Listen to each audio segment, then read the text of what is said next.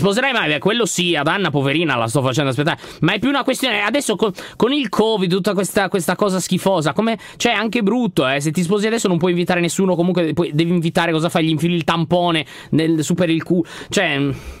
Era brutto, quindi, però se, se, quando finirà questa, questa porcata, probabilmente sì.